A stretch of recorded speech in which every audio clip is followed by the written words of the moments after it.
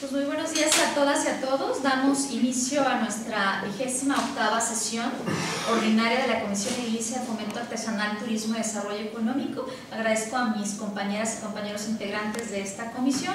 Gracias por atender eh, esta invitación.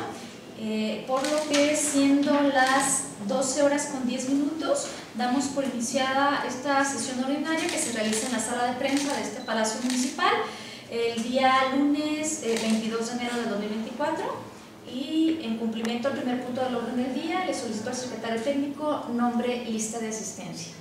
Como lo ordena la regidora, pasando a la lista de asistencia, regidora Laura Liliana Ola Frías. Presente. Regidora Celio Guadalupe Serrano Villagómez. Regidora Verónica Isela Murillo Martínez. Regidor Juan Carlos Villarreal Salazar. Presente. Regidora Presidenta Marta Estela Arismendi Pomona. Presente. Regidora, le informo que se encuentran presentes la mayoría de los integrantes de esta comisión.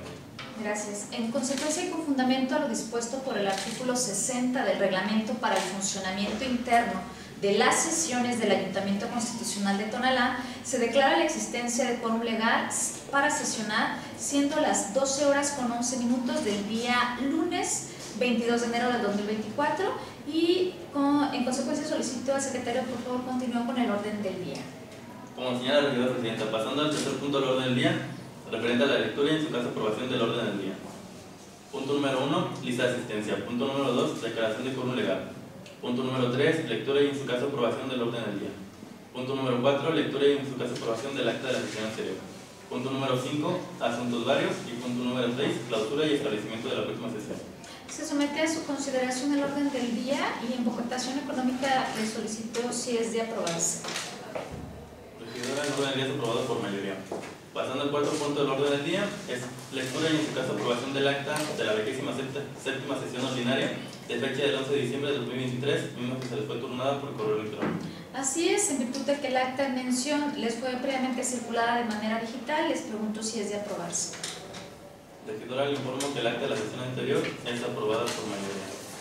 Continúo con el punto, por favor. Pasando al siguiente punto del orden del día, referente a asuntos varios.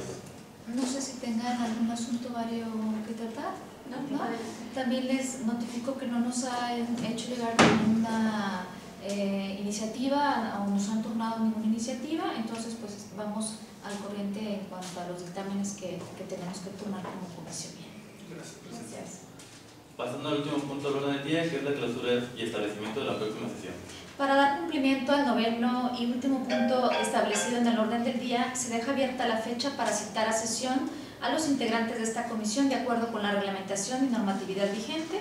Con lo anterior, damos por clausurada la presente sesión ordinaria de la Comisión Edilicia de Fomento Artesanal, Turismo y Desarrollo Económico, siendo las 12 horas con 13 minutos. Muchas gracias.